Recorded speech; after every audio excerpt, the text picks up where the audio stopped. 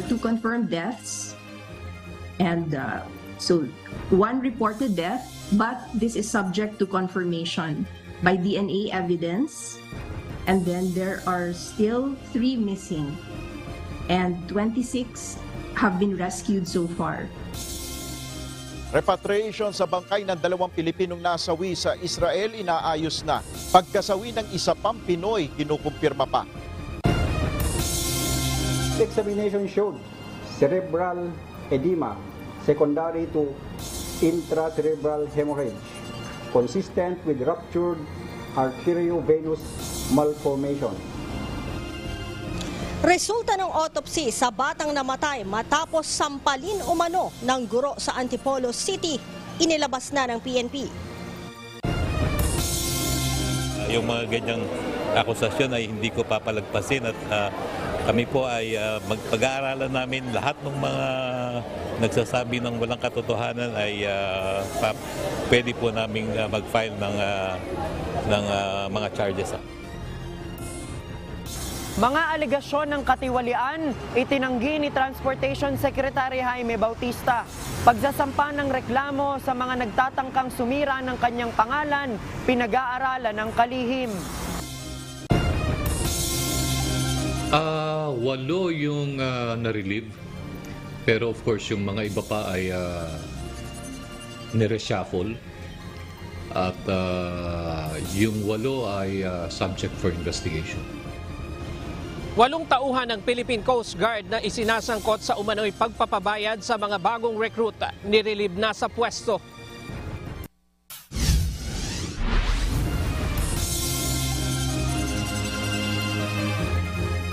Magandang hapon Pilipinas at sa buong mundo. Una sa ating mga balita. Kinumpirma na ng Department of Foreign Affairs at Embahada ng Pilipinas sa Israel ang pagkasawi ng dalawang Pilipino sa kasagsagan ng gulo sa pagitan ng Israel at Hamas militant group. Sa ngayon ay inaasikaso na nila ang repatriation ng bangkay ng mga ito. Pero may isa pang Pilipino ang sinasabing namatay rin at kasalukuyang kinukumpirma pa ng Philippine authorities. Ito ang balita ni Nel Maribuhok live. Nel, tinukoy na ba ang pagkakilanlan ng dalawang namatay na Pinoy? Jun, hindi na nagbigay pa ng ah, iba pang detalye ang Department of Foreign Affairs ukol nga dito sa dalawang Pilipinong ah, nasawi dahil nga sa pag-atake ng ah, Palestinian militant group na Hamas. Ito ay dahil na rin sa kahilingan anya ng mga pamilya na irespeto ang kanilang privacy.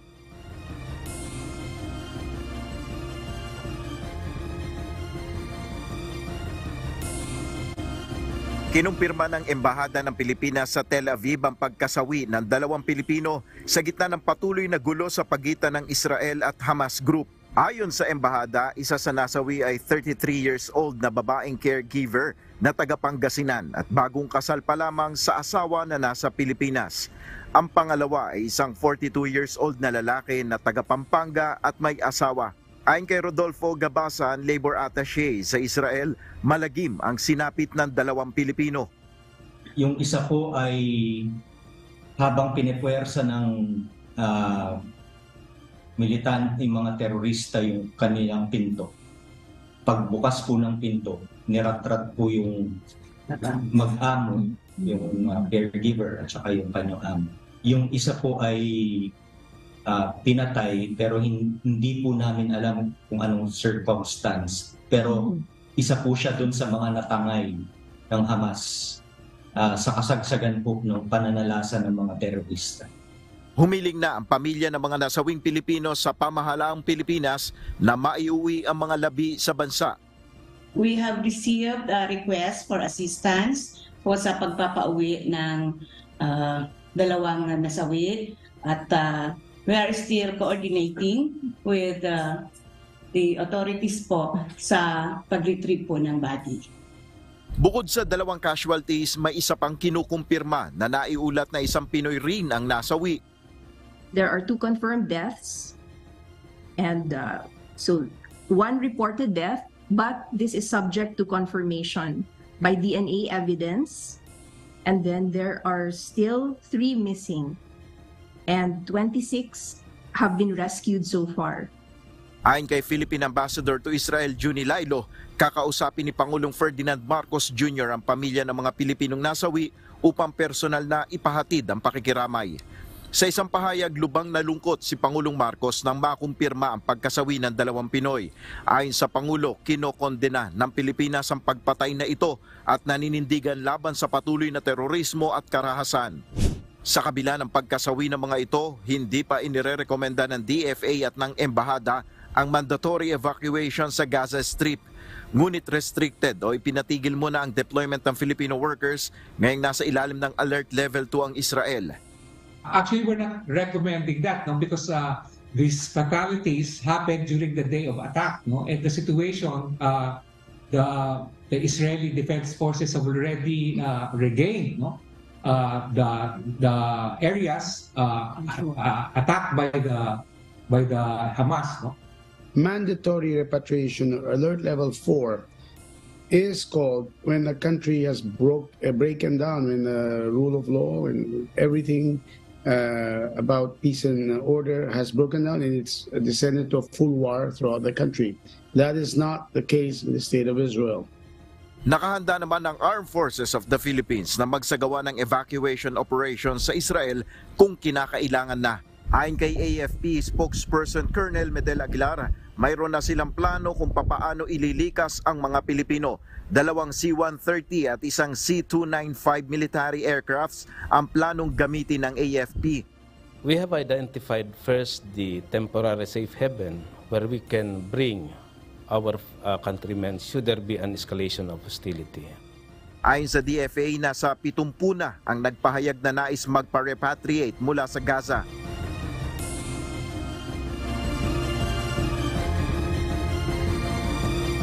DFA ay uh, nasa pit, uh, ayon nga dito sa Malacanang ay wala pa tayong impormasyon kung nakausap na nga ni uh, Pangulong Marcos itong uh, uh, pamilya nitong mga Pilipinong nasawi dito sa Israel at maghihintay pa tayo ng update hanggang uh, mamaya at kung bukas ay mag-update pa rin ang palasyo ukol dito. June? Oo, Nel. Ilan pa ba yung mga Pilipino na dapat na kumbaga eh, gustong uh, magpa-repatriate at may mga Pilipino pa ba doon sa lugar mismo kung saan nangyari yung gulo na hinahanap pa ng embahada o kung hindi man hinahanap, nasaan sila ngayon at uh, papaano sila nililingap ngayon ng embahada? Tama ka dyan, Jun. Ano, nasa 70 ba yung mga nagpahayag na nais na magpa-repatriate dyan mismo sa Gaza Strip. At may tatlo pa na ang uh, termino nga ng uh, DFA dyan ay unaccounted. Yan yung mga hindi pa uh, mga makontak sa kanilang mga mobile numbers at uh, mga social media accounts. Pero yung iba pang mga detalye kung papaano ito uh, nakikipag-ugnayan ang uh, embahada ng Pilipinas Pilipinas sa, sa Israel ay hindi na sila nagbigay pa ng impormasyon. Pero ang uh, sinabi nga ng uh, DFA kanina ay ginagawa nila ang lahat ng uh, paraan upang uh, makipag-ugnayan sa mga otoridad doon dyan sa Israel para matiyak ang uh, kaligtasan ng mga Pilipino doon. Dahil matatandaan nga natin na uh, June ano, iniutos nga ng Israel itong uh, blockade mismo dyan sa uh, Gaza, putulin yung supply ng uh, tubig, kuryente at pagkain dyan. So uh, tiniyak naman ng uh, embahada sa ng Pilipinas sa Israel sa Tel Aviv na uh, ginagawa nila lahat ng paraan upang matulungan ng mga Pilipino. Medyo challenging, Ray, uh, Nel, itong uh, kinakaharap ng DFA sa pag, uh, pag-aaruga sa mga Pilipino diyan para malingap sila, uh, Nel.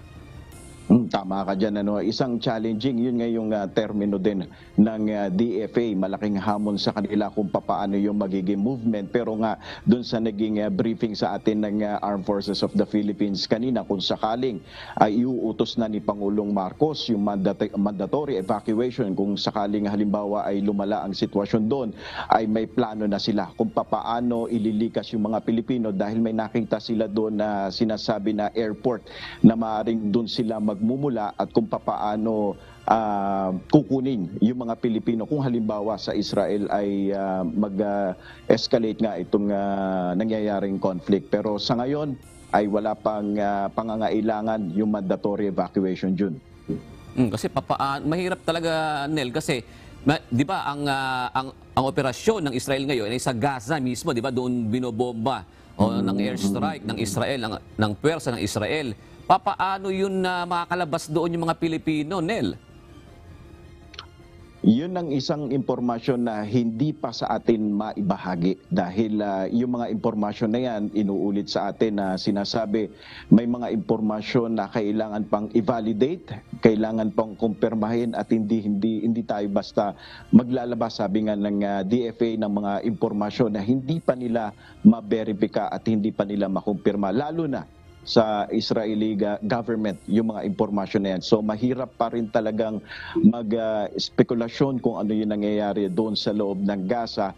Pero yung mga ibinibigay na impormasyon ng ah, ah, mga local media din na nandun, ay yun, yung pa lang yung ating mga, kumbaga, ah, impormasyon pa lamang na nakukuha sa ngayon at yung ibinibigay ng embahada. Mm. Ngayong araw ba nakaschedule si Pangulong Marcos para makipagkita dun sa mga kaanak ng ah, namatay na dalawang Pilipino?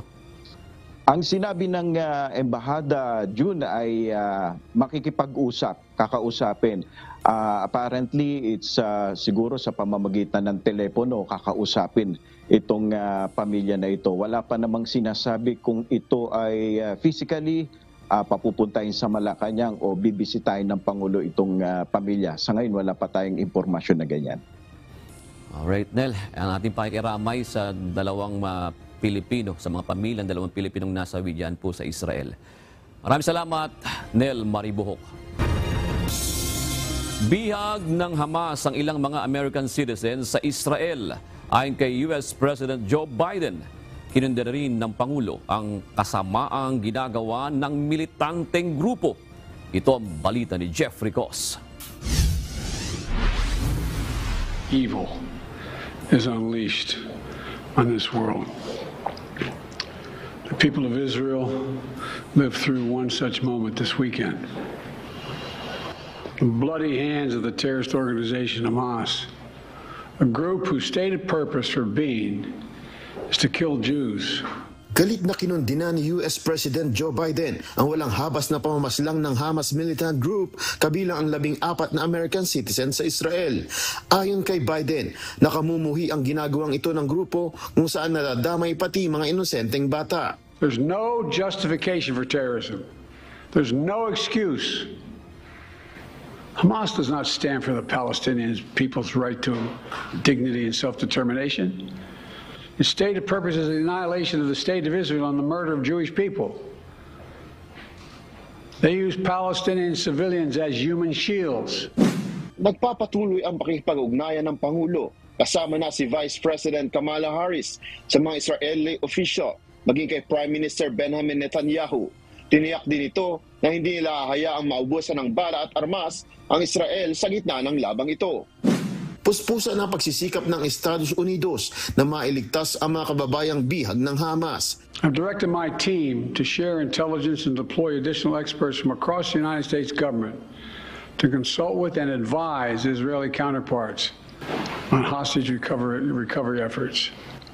Because as president, I have no higher priority than the safety of Americans being held hostage around the world. Sa kabuuan, nasa 1,600 tao na ang nasawi sa gera at inaasahan na tataas pa ang bilang na ito dahil sa kasalukuyang patuloy ng airstrikes ng Israel sa Gaza. Jeffrey Cos, UNTV News and Rescue. Diyos ang aming sandigan, serbisyo publiko ang aming pinahahalagahan. Sa ibang balita, tinanggal na sa pwesto ng Philippine Coast Guard ang walong tauhan nito sa Regional Training Center na inaakusahan ng anomalya. Pinabayaran umano ng mga ito ang mga uniforme sa iba't ibang aktibidad ng mga recruit gayong may budget na nakalaan ang gobyerno para dito.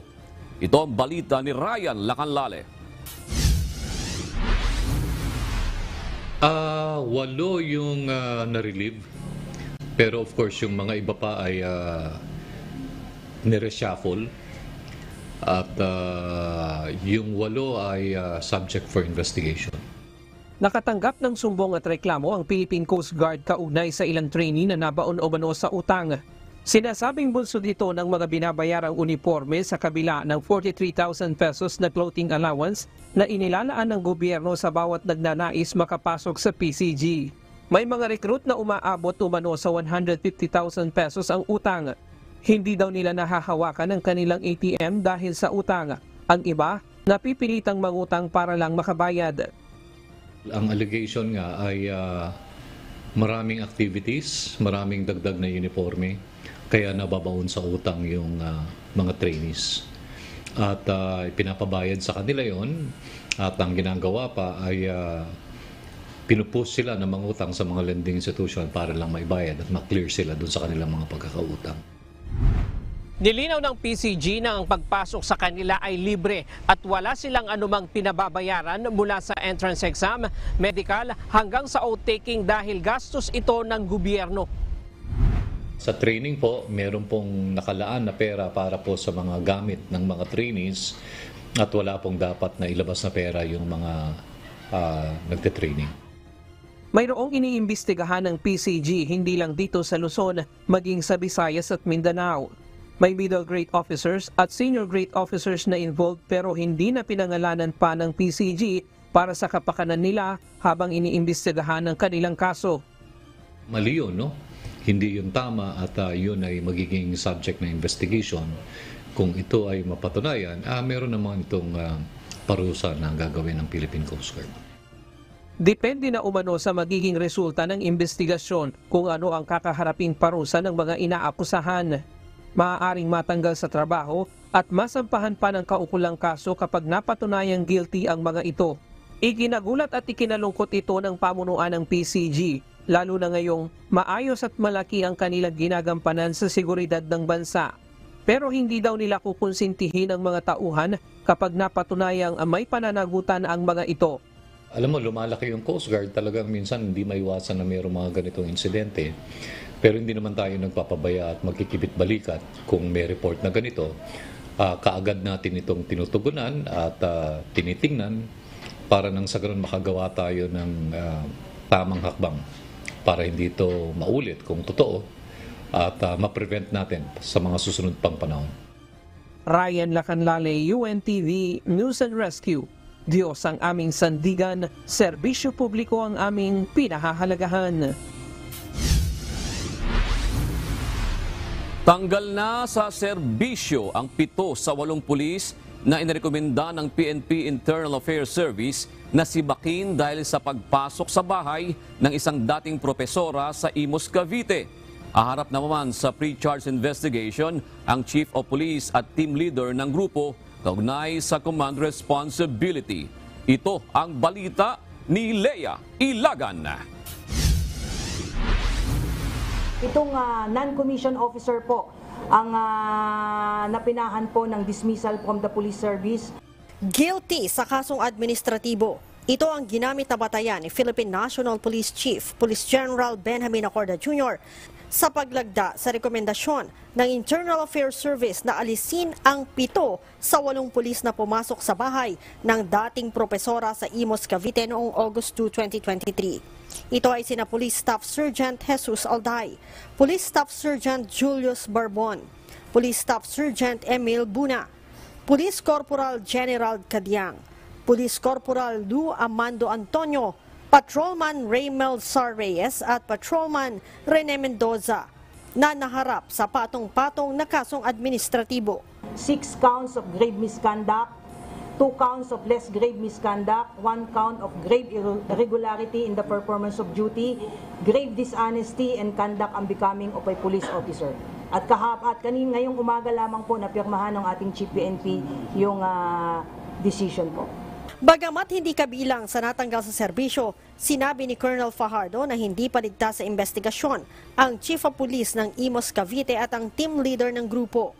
Yung Chief of Police, yung team leader at uh, Apat pa pong non-commissioned officer uh, were found uh, not liable for the uh, grave misconduct uh, charges. However, they will be uh, prosecuted for grave neglect of duty for uh, doctrine of command responsibility po. Hindi rin kabilang sa natanggal sa serbisyo ang babaeng non-commissioned officer na kasama sa inirekomenda ng IAS dahil hindi daw ito kabilang sa mga sapilitang pumasok sa bahay ng dating propesora.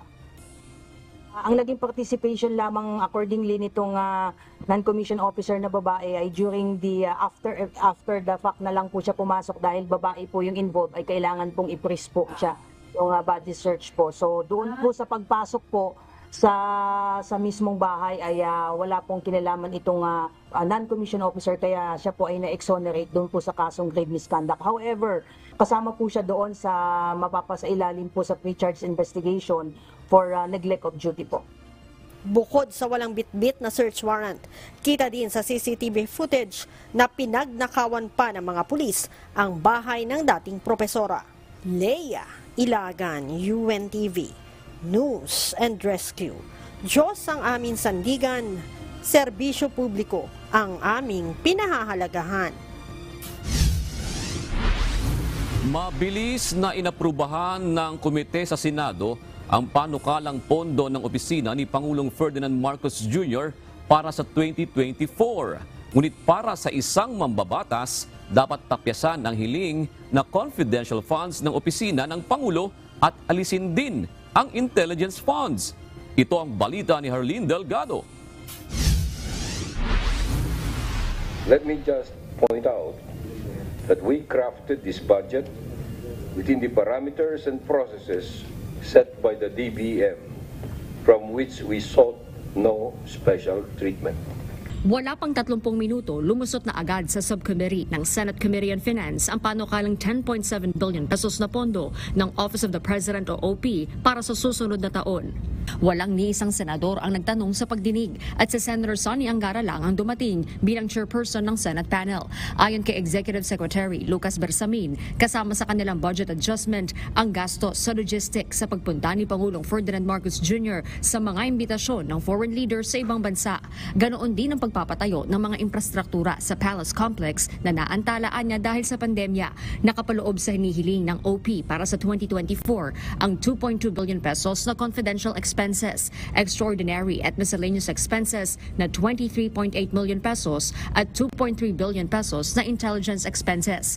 Ngunit para kay Senate Minority Leader Aquilino Coco Pimentel, dapat ding bawasan ang confidential funds ng OP at dapat tanggalin ang intelligence fund nito. Nanindigan ng senador na hindi na dapat gumagawa ng intelligence gathering ang tanggapan ng Pangulo bilang isang civilian agency at dahil na rin sa bigat ng trabaho nito. Hirit pa ni Senator Pimentel kung talagang abala sa gawain ng OP, wala na dapat panahon ang mga tauhan nito para sa intelligence gathering na dapat ipaubaya na sa mga mas nakakaalam sa naturang trabaho. Wala si Senator Pimentel sa budget hearing ng OP, pero si Senator Angara walang nakikitang issue sa hinihiling na confidential funds ng opisina ng Pangulo. Presidente yan. Parang gusto ba natin pilayan yung presidente? Di ba? Kung, kung sinabi niyang kailangan yan. Meron siyang alam na hindi natin alam. Paglilinaw ni Senator Angara, may pagkakataon pa rin ang mga senador na busisiin ang bawat item sa hinihiling na budget ng OP kapag sumalang na ito sa budget deliberation sa plenaryo. Oh, any, ako, anything is possible kasi nga period of amendments yan. Eh. Alam niyo naman, each senator is uh, independent, may kanyang uh, pananaw, may kanyang opinion. Batay din sa naging inisyal na pulong ng Select Oversight Committee ng Senado na tumitingin sa confidential at intelligence funds ng mga ahensya ng gobyerno, detalyado umano ang naging report ng OP sa paggamit ng pondo. Tiningnan namin, uh, very detailed naman yung yung sa OP, ha, na, nakalagay doon yung mga pinaggastusan, uh, In fact, may mga pa, may mga pangalan pa nga nung mga binigyan eh. ng ng uh, sort of like a reward or incentive. Oh. Plano ng Senado na tapusin ang budget hearing sa susunod na linggo habang nakatakda namang simulan ang deliberasyon sa plenaryo sa Nobyembre sa pagbabalik sesyon ng Senado at Kamara. Harleen Delgado, UNTV News and Rescue. Diyos ang aming sandigan, serbisyo publiko ang aming pinahahalagahan. Planong iapila ng Department of Information and Communications Technology o DICT ang desisyon ng House of Representatives na tanggalan sila ng confidential funds sa ilalim ng 2024 proposed budget. Babala ni Secretary Ivan John Uy, hindi magiging magandang epekto nito sa gitna na rin ng paglaganap ng cybercrimes at pagdami ng cybercriminals. Bunsod nito, hihingi umano sila ng konsiderasyon sa Senado kaugnay sa tinapyas na 300 million pesos ng Kamara. Wala pang naging pag-uusap ang mga senador kaugnay ng mga tinanggal ng Kamara na Confidential at Intelligence Funds o CIF ng Office of the Vice President at apat pang ahensya ng gobyerno. Taliwas ito sa saunang sinabi ni House Appropriations Committee Chairperson Saldico na done deal na o hindi na mababago ang mga ginawa ng Kamara na pagtatanggal ng CIFs. Ayon kay Senator Sonny Angara, chairperson ng Senate Committee on Finance, nirerespeto nila ang naging desisyon ng mababang kapulungan ng Kongreso. Ngunit wala pa anyang naging pagpupulong ukol dito. Samantala, ilalaban naman ng ilang senador na maibalik ang CIF ng Department of Information and Communications Technology o DICT.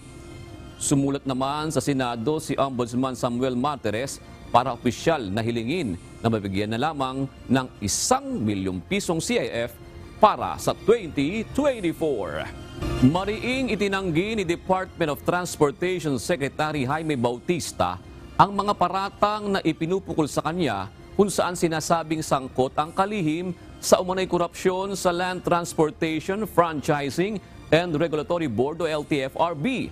Git ng opisyal, walang katotohanan ang ibinibintang sa kanya at hindi totoo na tumanggap siya ng pera mula sa LTFRB. Ito ang balita ni JP Nunez. Yung mga ganyang akusasyon ay hindi ko papalagpasin at uh, kami po ay uh, magpag-aaralan namin lahat ng mga nagsasabi ng walang katotohanan ay uh, pwede po namin uh, mag-file ng, uh, ng uh, mga charges sa kanila. Pinag-aaralan na ngayon ng legal team ng Department of Transportation na magsampa ng reklamo laban sa mga nag-aakusa kay Secretary Jaime Bautista sa umano'y ruta for sale scheme sa Land Transportation Franchising and Regulatory Board.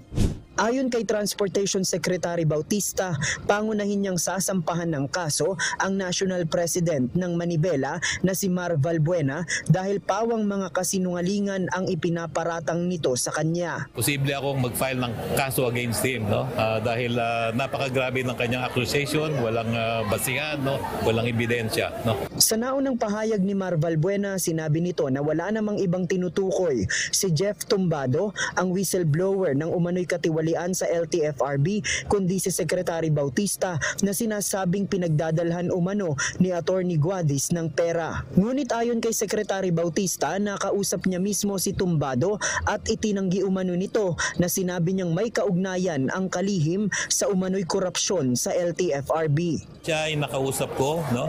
at sinabi niya na hindi daw niya sinabi na kami ay involved sa katawi, kat, katiwalian. No? Wala, yun ang sinabi niya sa akin aking kaninang maga, no?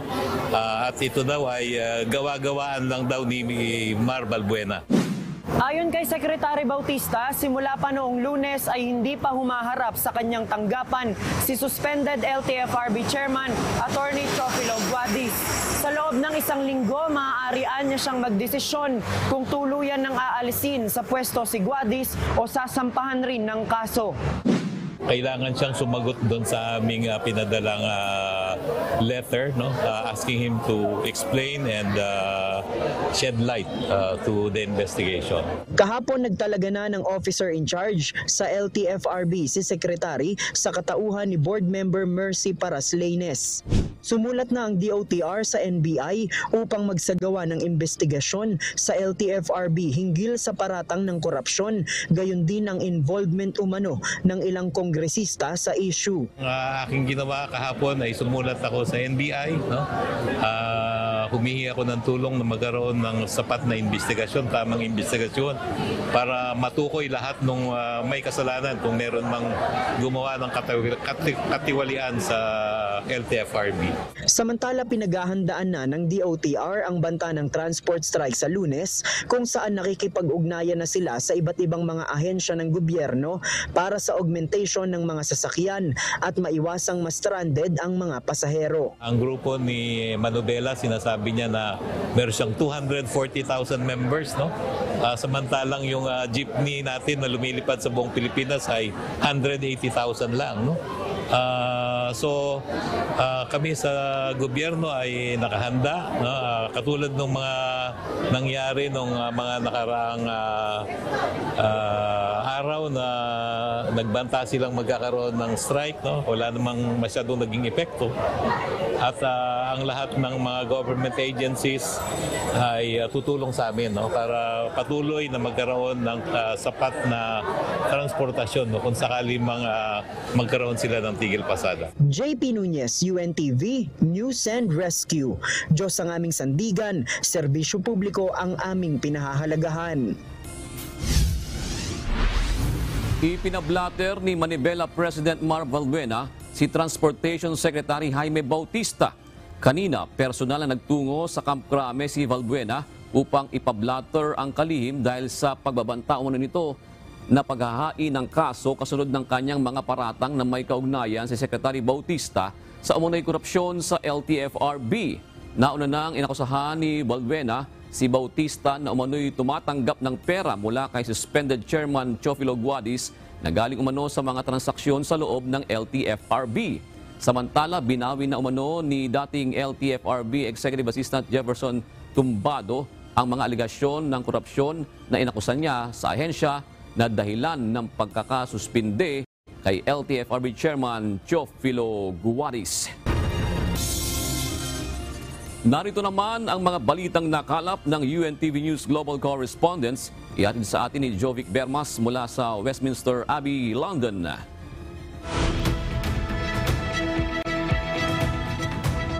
Jovic, may naiulat bang European hostages ang Hamas militants? Meron man, ano ang ginagawang effort ng uh, European government upang mailigtas ang mga ito? Yes, June, magandang gabi. Labing pitong British nationals ang naiulat na nawawala o namatay na hinostage ng uh, Palestinian Islam, Islamist militant group na Hamas. At uh, ilang French nationals din ang uh, ang naiulat na hinostage at isa nga dito ang isang 26-year-old na reveler na nagpunta sa Israel ang namatay. Kinumpirma ito ng French Foreign Ministry. Bukod dito ay nagulat din ang German uh, Foreign Ministry na ilan sa mga German citizens na mga Israel nationals din ang uh, kinidnap at uh, naiulat na minurder. At ayon nga sa kanilang German Chancellor ay nakikipagtulungan ito sa Israel government upang uh, malaman ang tukoy na bilang kung ilan ang uh, German uh, citizens na hinostage o kasalukuyang hawak ng Islamist militant group. Alright, Jovic, ibigay mo na ang iba pang mga balita sa iba't ibang panig ng daigdig. Isa na namang 6.3 magnitude earthquake ang tumama sa Afghanistan ilang araw matapos ang magkasunod na malalakas na lindol na ikinasawi ng mahigit isang libong tao. Mahigit isang daan ang sugatan at dinala sa ospital ayon sa mga opisyal. Hindi pa malinaw kung gaano kalaki ang pinsalang muling naidulot nito. Samantala, Nakararanas naman ngayon ang mga residente sa Herat na epicenter ng lindol noong Sabado ng uh, kakulangan sa iba't ibang supply gaya ng pagkain at kumot ayon sa mga aid agency.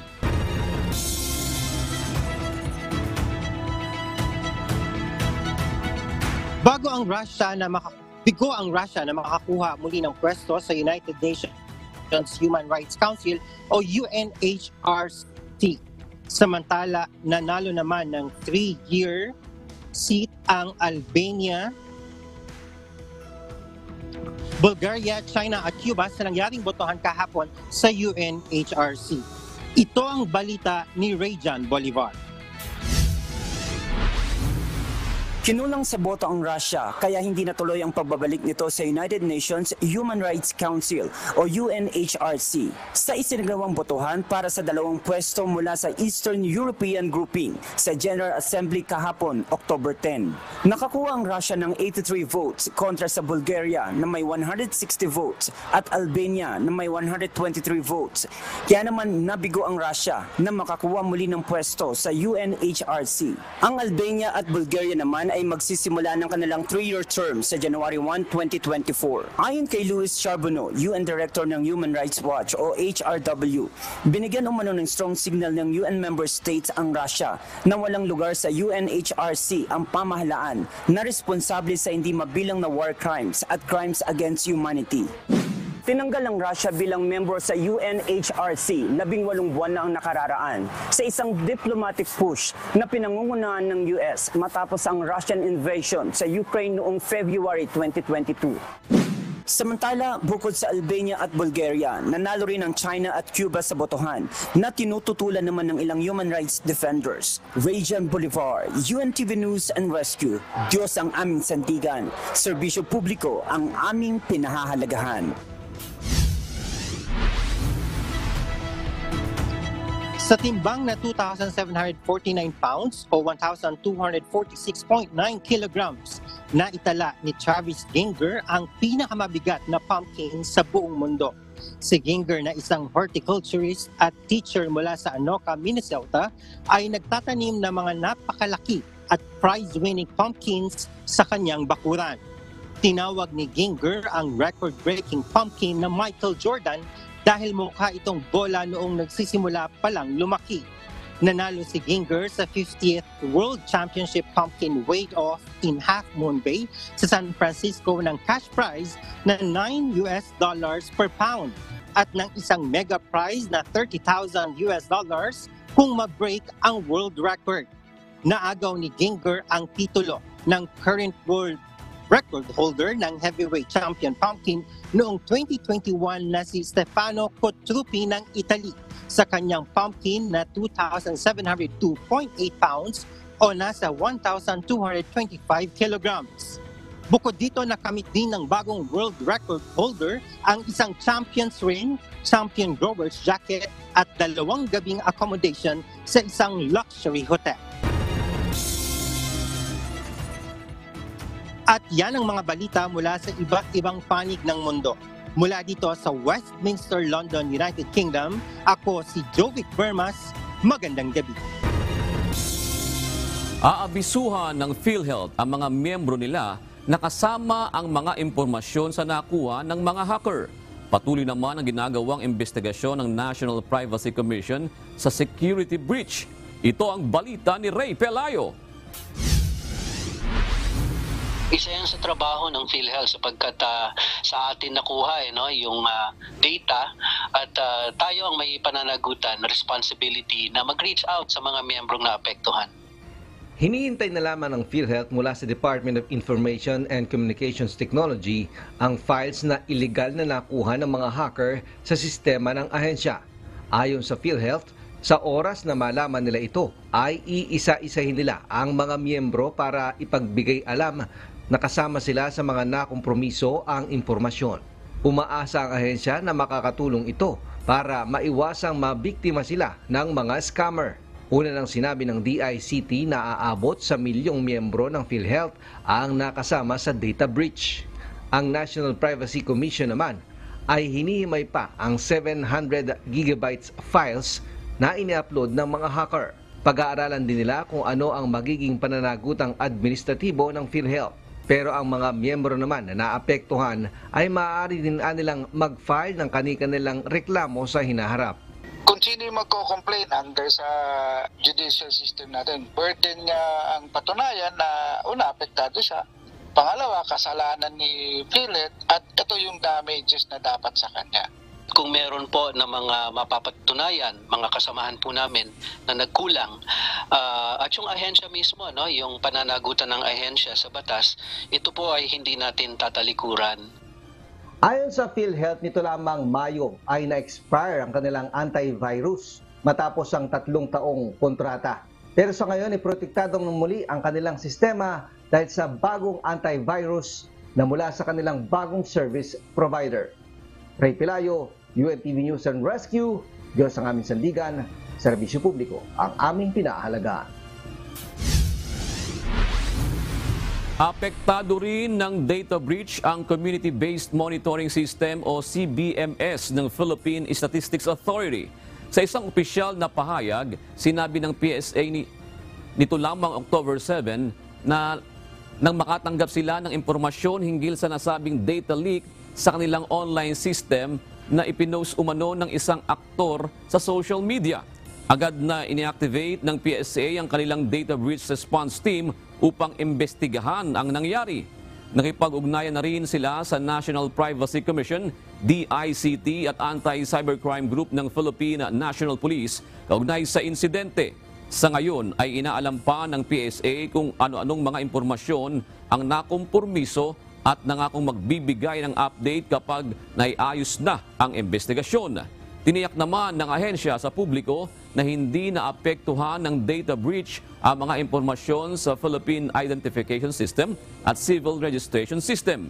Pinapayuhan ang publiko na maging maingat at huwag basta i-click ang mga kahina-hinalang link upang maiwasan na mabiktima ng mga manloloko.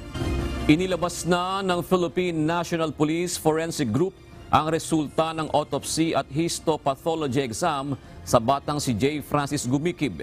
Gayunman, hindi direktang masabi ng PNP kung ang natuklasan nilang cause of death ay resulta ng pananampal sa kanya ng guro. Ito ang balita ni Leia Ilagan.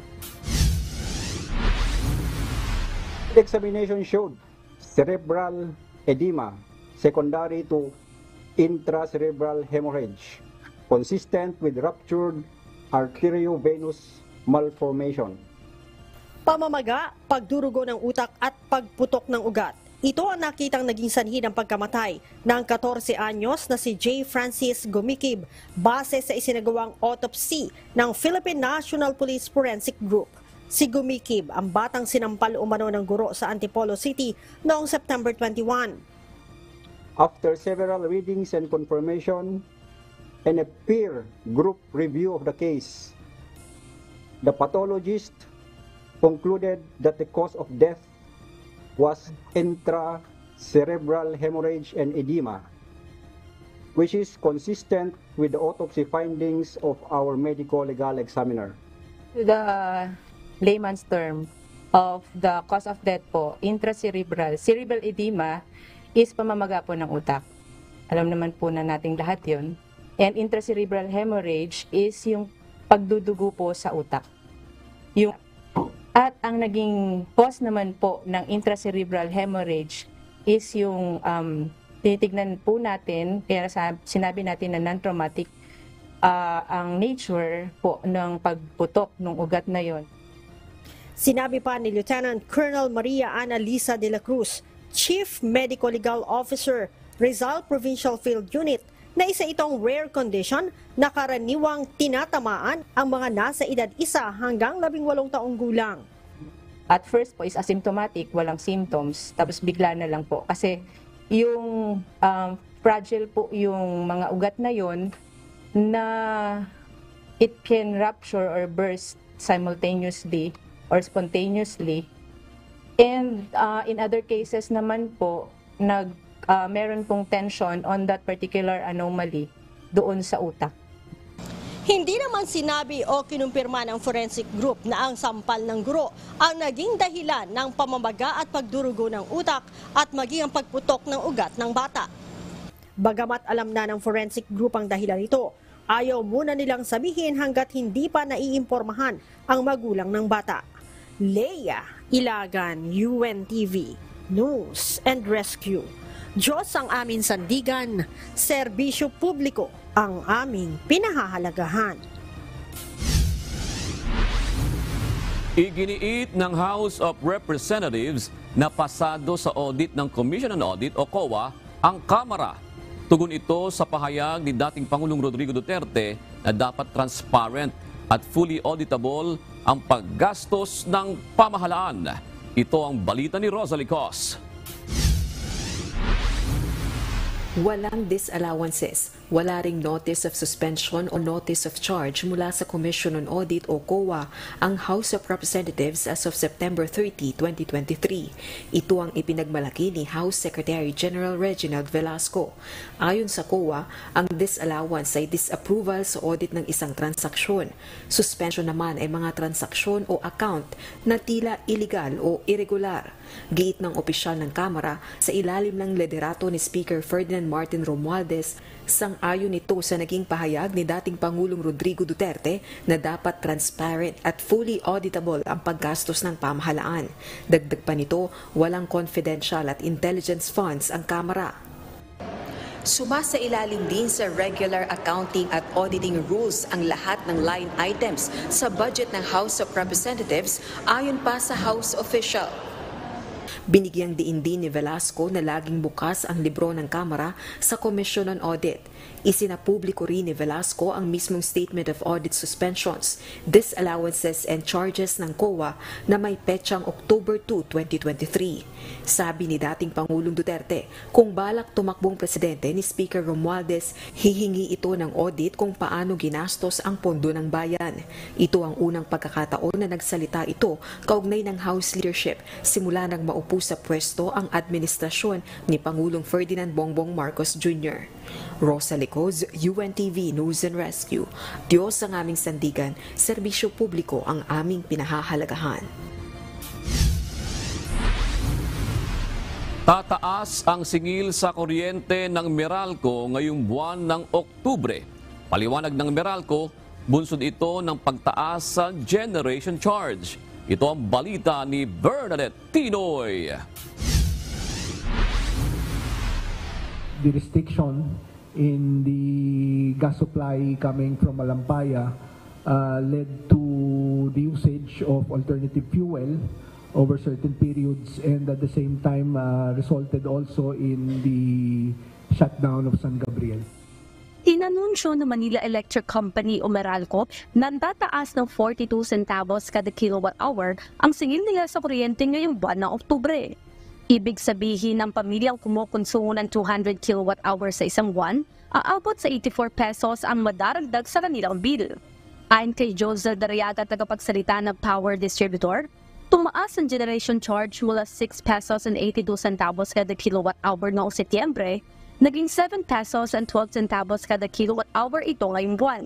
Nagkaroon din ng restriksyon sa supply ng Malampaya gas field dahilan para gumamit na alternative fuel at magtigil operasyon ang ilang planta na pinagkukunan ng supply ng Meralco.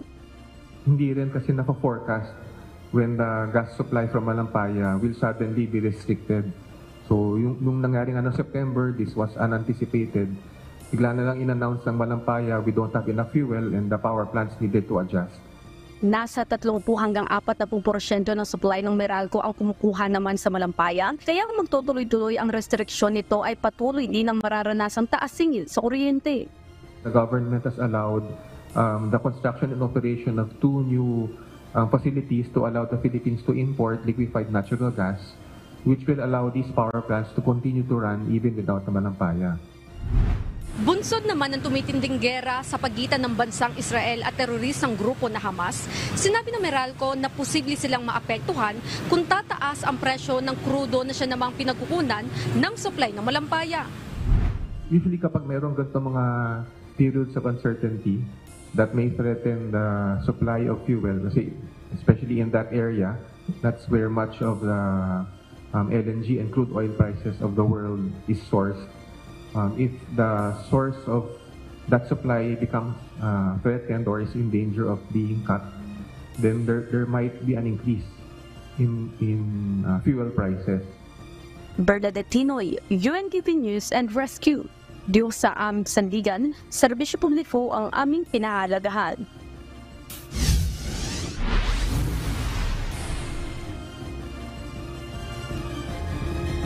Tiniyak ng Commission on Elections o COMELEC na hindi na maipoproklama ang mga nanalong kandidato sa Barangay at Sangguniang Kabataan Elections o BSKE na may nakabinbing kaso. Nagbabala naman ang DILG sa mga local government official na maaaring masasangkot sa vote buying at makisawsaw sa mga panuntunan ng COMELEC hinggil sa BSKE. Ito ang balita ni Dante Amento live. Dante, meron ba ang ah, umiiral na panuntunan kaugnay sa pagsuspinde ng proklamasyon ng nanalong kandidato na may nakabinbing kaso? Yun, walang ah, partikular na panuntunan ang Commission on Elections o COMELEC na hindi maipoproklama yung isang kandidato. Pero ang sinabi ng ah, COMELEC, sinabi ni Chairman Garcia, maaari silang maglabas June ng isang ah, resolusyon o pangkalahatang kamustahan na ipagbawal o isuspindi ang ah, pagproklama ng mga kandidato na may nakabinbing mga kaso. Matindi ang babala ng Commission on Elections o COMELEC sa mga kandidato na maaaring sangkot sa premature campaigning o vote buying, lalo na ang mga mayroon ng kasong diskwalifikasyon. Ayon kay Chairman uh, George Erwin Garcia, hindi nila papayagan na mapoproklama kapag nanalo sa paparating na eleksyon. Paliwanag ni Garcia hanggat hindi nare-resolba ang kanilang disqualification case ay hindi sila formal na makakaupo sa pwesto. para hindi nila magamit yung proklamasyon, isususpend namin ang proklamasyon. Hindi namin ipapatuloy yung proklamasyon. Napakadalang gamitin ng COMELEC yung kapangyarihang yon. Pero dito sa barangay, gusto namin ipakita, kung kaya namin i-suspend ang proklamasyon sa barangay, di kaya namin i-suspend ang proklamasyon kahit sa national and local election. Sa ngayon June, mayroon ng anim na po ng mga kandidato na nakaharap sa disqualification case dahil sa issue ng premature o maagang pangangampanya tulad ng paglalagay ng campaign posters, physical man o sa social media. Bukod dito, may lima namang uh, mayroon na ring uh, DQ case dahil naman sa reklamo ng uh, pamimili ng boto o vote buying. Gusto natin, turuan sila ng leksyon. Nasiseryosohin nila yung mga kalatas, yung mga patakaran na meron ng Commission on Elections. At dyan po namin talaga kailangan ang DILG sapagkat siyempre yung Philippine National Police under their supervision, sila kasi yung gagamitin ni Commissioner Maceda na taga-aresto, taga-kalap ng mga dokumento at mga ebidensya. Kaugnay nito, babala ni Department of the Interior and Local Government o DILG Secretary Benhur Abalos Jr. na iwasan ng mga lokal na opisyal na masasangkot sa vote buying. Hindi anya may iwasan na mayroong minamanok ang mga ito na kandidato sa barangay, subalit labag sa batas na makisawsaw sila sa hakbang ng COMELEC laban sa premature campaigning at gayon din sa vote buying. bawal po yan. No? Ah, tandaan po natin uh, right now, uh, very strict ang COMELEC dito. We have to follow their directives. We have to follow the law. We will be coordinating uh, very closely with uh, COMELEC about this at uh, yung mga show cause order ay talagang gagawin po namin. Kamakailan may napaulat ng mga LGU official na hinaharangan ang COMELEC sa pag-issue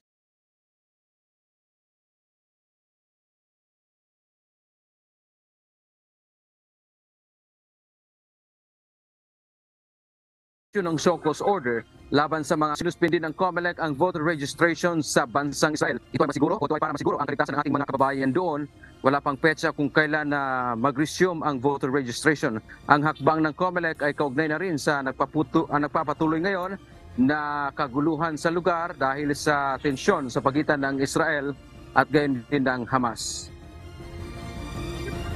Wala po munang voter registration, indefinite po ang suspension.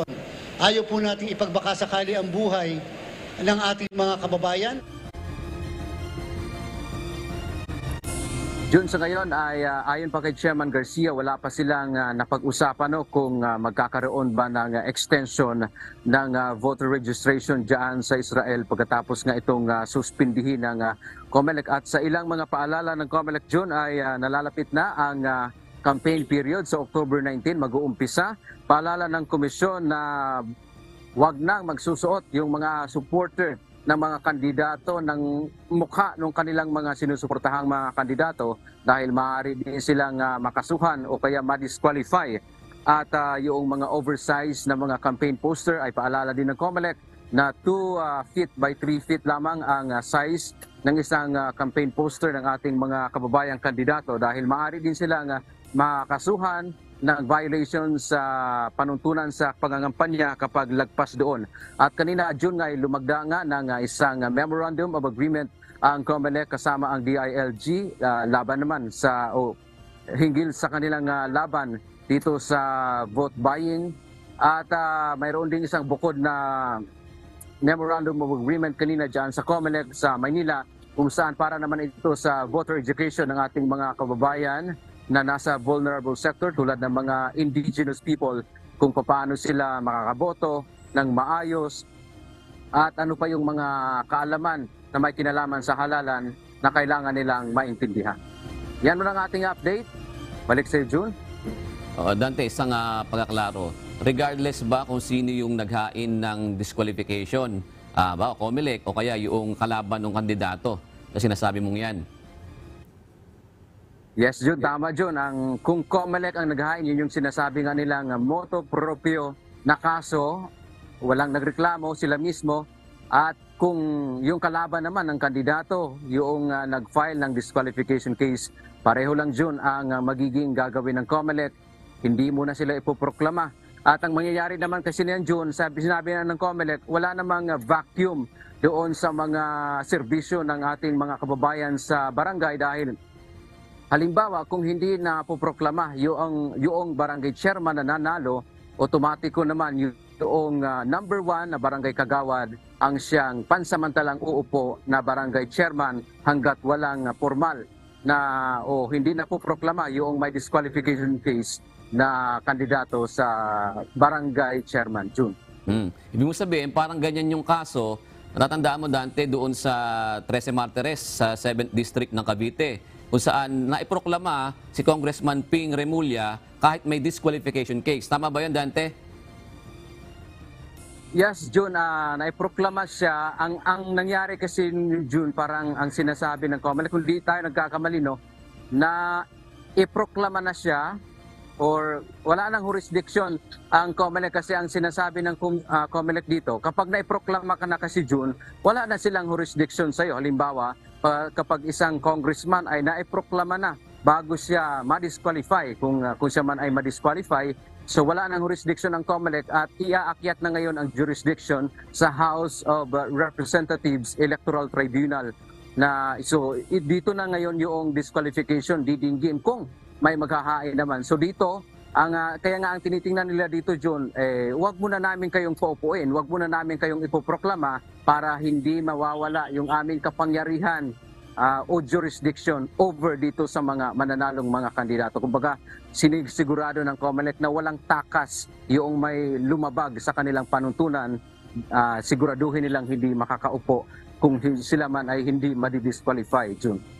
No, ang sinasabi ko nga dito, doon sa kaso doon sa uh, 13 sa Cavite, 7th District ng Cavite, may mapavacuum kasi merong mawawalan ng uh, kumbaga serbisyo dahil nga mawabakante yung uh, pwesto. Yes, Jun, uh, yun ang ang yun nga ang mangyayari kasi pagka uh, ang sinabi kasi ng COMELEC June, titiyakin talaga nilang mayroong uupo na isang uh, kandidato sa isang posisyon para hindi nga magkakaroon ng vacuum kaya halimbawa kung ang isang kandidato ay na uh, halimbawa na appoint tulad ni uh, Secretary Rimulya, doon din yan sa Cavite. So para hindi magkakaroon ng vacuum, ay nagkakaroon ng special election para mapunan yung kanyang uh, posisyon o kaya maaari ding mag-appoint ng sinasabi nilang caretaker ang House of Representatives kung yan man ay congressman. Pero kung sa local government units, nasa kapangyarihan ng DILG ang uh, pag-a-appoint uh, doong uupo pansamantala doon sa nabakanting pwesto para walang vacuum na mangyayari doon sa mga serbisyo ng ating mga uh, lokal na uh, pamahalaan. Maraming salamat, Dante Amento.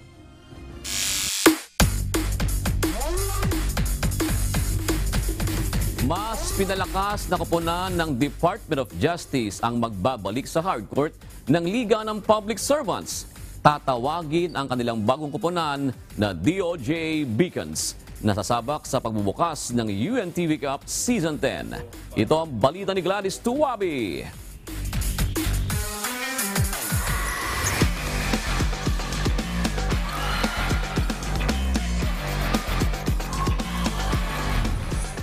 Is real dahil muli nating masasaksihan ang pagsabak sa Liga ng Public Servant ng kupunan ng Department of Justice.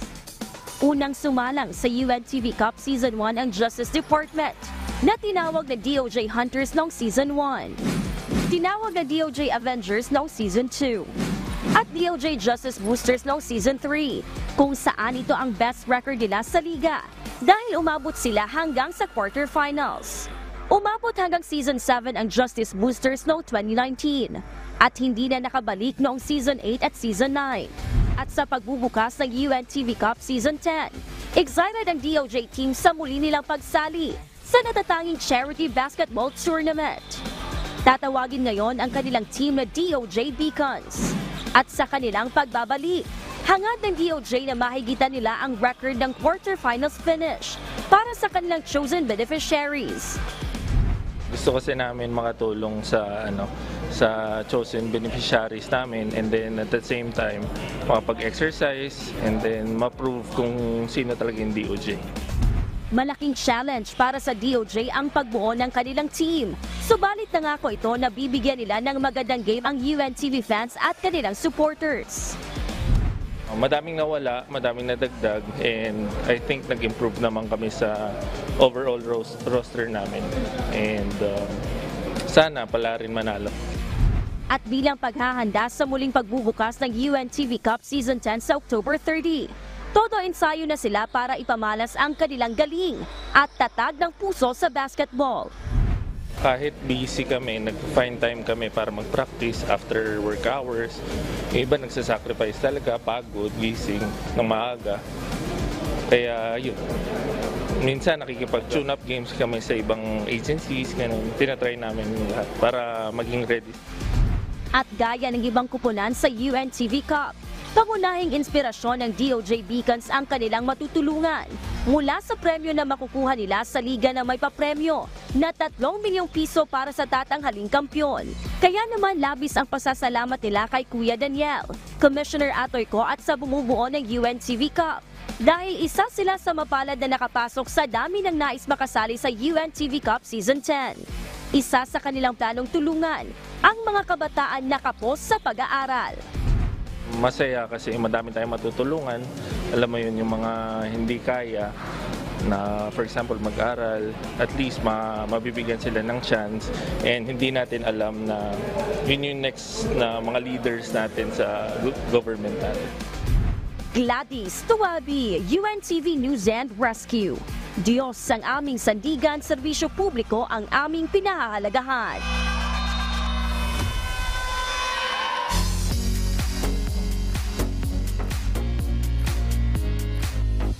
Abangan ngayong Oktubre ang muling pagbabalik sa Pilipinas ng Danish pop band Lucas Graham para haranahin at pasayahin ang kanilang Filipino fans sa pamamagitan ng isang live concert sa Maynila.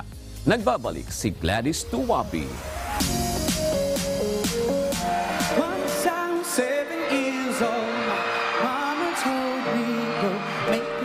Ka rin ba sa mga tagahanga at taga-suporta ng Lucas Graham dahil sa kanilang mga awiting puno ng damdamin?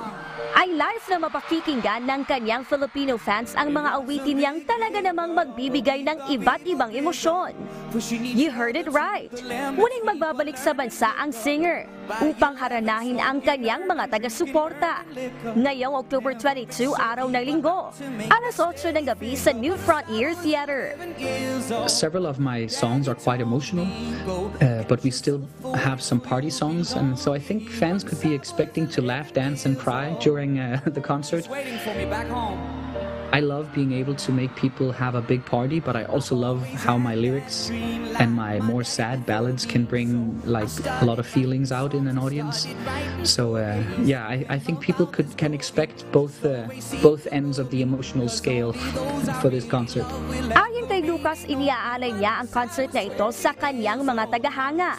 Lalong-lalo na ang mga fans na hindi makararating dahil mula pa sa malalayong probinsya. One of the main issues with being an international name is that we can't be everywhere at the and even when we come to the Philippines, there's so many places we're not visiting. We're only playing one concert in Manila, so I'm sure that there's a lot of people on the islands who would uh, want us to come a little bit closer. So I think Wish You Were Here is going to be uh, dedicated to them. Dagdag pa ng singer. Excited siyang makabalik ulit sa Pilipinas dahil muli niyang mararanasan ang magandang ugali ng mga Pilipino at mayamang kultura ng bansa. At syempre, matitikman ang mga masasarap na pagkain na dito lamang makikita. Yeah, when I was in uh, the Philippines, I was enjoying a lot of the tropical fruits you guys have, and um, I mean the people I met. Yeah, was very. It was a very nice and welcoming culture. Para naman sa lahat ng mga young artist at musician na nagnanais makilala at makagawa ng pangalan sa music industry, ang payo ni Lucas. So I think everyone who wants to become a performing artist should just practice their craft, practice the instruments and their singing and performance, and then try to become more unique in some sense. Find a niche and make it more nichey. Ang Lucas Graham Live in Manila concert ay binuo ng KDR Music House at Midas Promotion. Gladys Tuwabi, UNTV News and Rescue. Diyos ang aming sandigan sa visyo publiko ang aming pinahahalagahan. The world is cold, I will I have a land of children who can warm me. Soon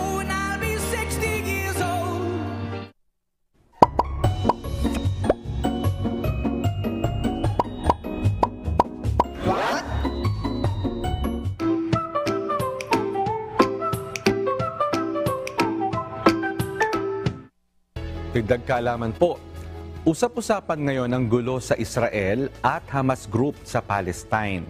Pero hindi nyo ba na itatanong, paano ba nagsimula ang sigalot ng bansang Israel at Palestine? Ang pangunahing ugat ng hidwaan ay may kinalaman po sa teritoryo.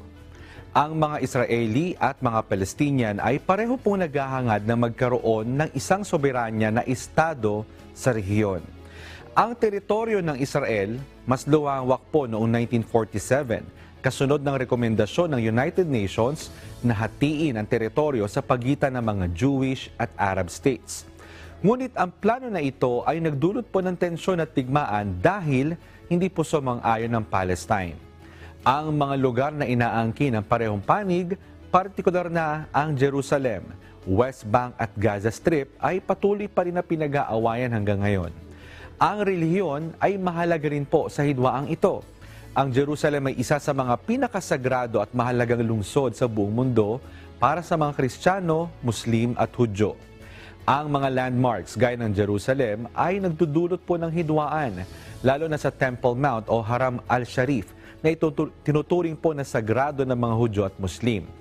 Maraming bansa at organisasyon ang nakikialam sa hidwaang ito at ito ay nagdadagdag ng komplikasyon. Ang United Nations ay patuloy na nagmamasid sa issue at tumutulong din sa pag-aayos po ng hidwaan. Sana maingatan po yung ating mga kapwa-tao ngayon dyan sa kaguluhan dyan at yung mga Pilipino po natin na nandyan din sa lugar na yan. Sana may natutuhan kayo at laging tatandaan, mapalad ang tao na nakakasumpong ng karunungan at ang tao na nagtatamo ng kaunawaan.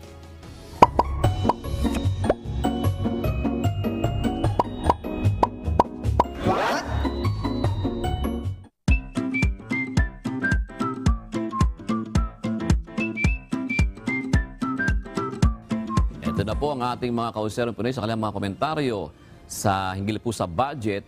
Sabi po ni Net Pangilinan, dapat talaga mayroong ulat sa bayan regarding sa breakdown ng mga ginastos or saan ginamit ang mga fund para wala ng issue. Honesty is the best policy. Sabi niya po. Hinggil naman po sa singil sa kuryente, sabi po ni Valeriano Tupaz, last, alam na alam niya, last September, 0.51 centavos per kilowatt hour ang itinaas. Tapos ngayon, 0.48 per kilowatt hour naman ang itataas. Grabe na to! Sabi niya ganun. Talaga naman, alam na alam ha, parang ano yun eh. Sila, sila Porky. Maraming may mga suggestion. Yung ating mga, di ba may mga suggestion dyan sa comment box natin, di ba? Ah, yung ating mga kausiserong Pinoy, dapat daw may mga wind energy pa, eh, no? Mag-ano daw sa, mag-invest sa wind energy, ganyan, ganyan, et cetera, et cetera. Narito naman po ang ating mga kausi ngayong gabi. Natin pong sina-shoutout, sina Valeriano Tupas, yan nag-comment po kanina. si Gilbert Wallen, ba, si Porky de la Cruz, may pabengi po sa kanyang mga anak na sina Sara at Antoinette at si Vincent Navea. At bago po tayo magtapos, nai- nais po muna na- naming bumati ng isang maligayang kaarawan kay Kuya Daniel Rason. Sa ngalan po ng bumubuo ng UNTV News and Rescue, kami po ay taos pusong una nagpapasalamat sa Diyos dahil meron po kaming isang Kuya Daniel Rason. Narito naman ang salita ng Diyos na ating sandigan mula sa aklat ng Tito 1.15 na nagsasabi, Sa malinis ang lahat ng mga bagay ay malinis. Datapwat sa nangahawa at di nagsisampalataya ay walang anumang malinis, kundi pati ng kanilang pag-iisip at kanilang budhi ay pawang nangahawa.